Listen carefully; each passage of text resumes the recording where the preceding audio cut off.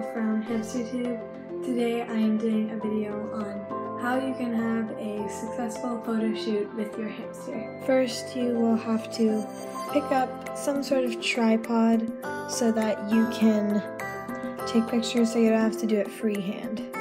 You can set it up in some type of wardrobe. Make sure it's only a little bit off the ground and it's not um, wood underneath. It can be, it has to be carpet, so if they take a leap off the edge, they won't hurt themselves.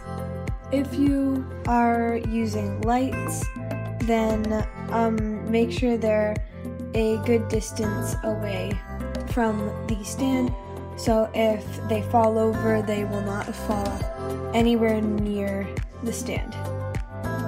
This part is optional, but you can put some sort of like blanket or um, board. It was really blurry for some reason.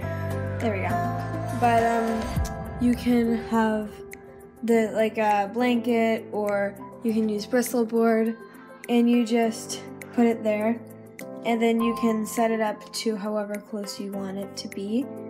I'm gonna do mine like that. Then you can pick any type of prop you want. I'm using a bendy bridge because I find the best pictures come from using bridges. Make sure that your prop isn't something that can be ingested, eaten, or cause harm to your hamster. Your hamster's safety always comes before getting a good picture. You can take your little hamster, Angel is a little tired right now, and then you put them onto whatever they're going on. And I find the best pictures come from the first few takes.